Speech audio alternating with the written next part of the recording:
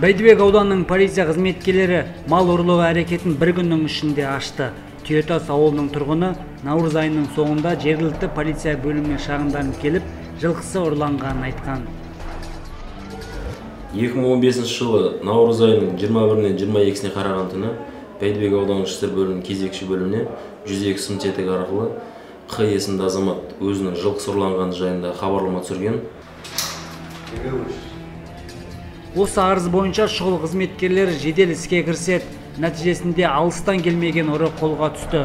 Ол мал иесінің 21 жастағы ауылдасы болып шыққан.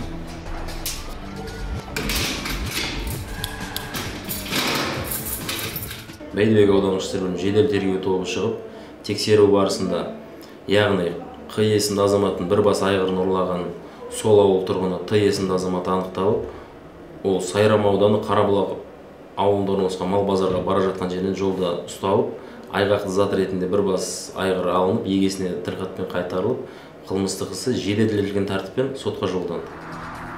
Қазіргі таңда мал өзінің заңды иесіне кері қайтарылды. Тергеу амалдары жалғасуда.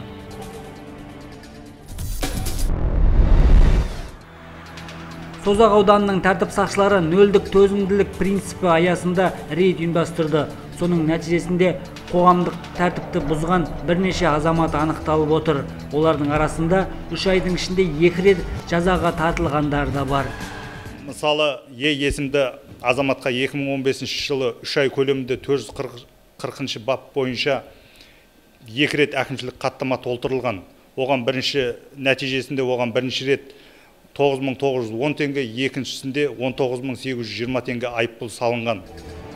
Яғни бұл азамат екі рет қоғамдық орында мас болып жүргені үшін айыппұл төлеп отыр. Аудан полицейлері сонымен қоса жасөспірім рейдінде өткізді. Соның нәтижесінде 20-ға жуық жеткіншек анықталып ата аналары айыппұлға кесілді. Қазақстан республикасы көлемінде 1 мен 10 сәуір аралығында жасөспірім іс шарасы барысында 19 жасөспірім құқық бұзғаны анықталған оның ішінде 17-сі түнде жүрген 442 баптың екінші бөлігі және екеуі 127 бап бойынша ұсталған. Жалпы жыл басынан бері созақ ауданында қоғамдық орындарда мас болып жүрген 149 азамат ұсталып 91 адам көпшілік орындарында темекі шеккені үшін айыппұл төлейтін болды.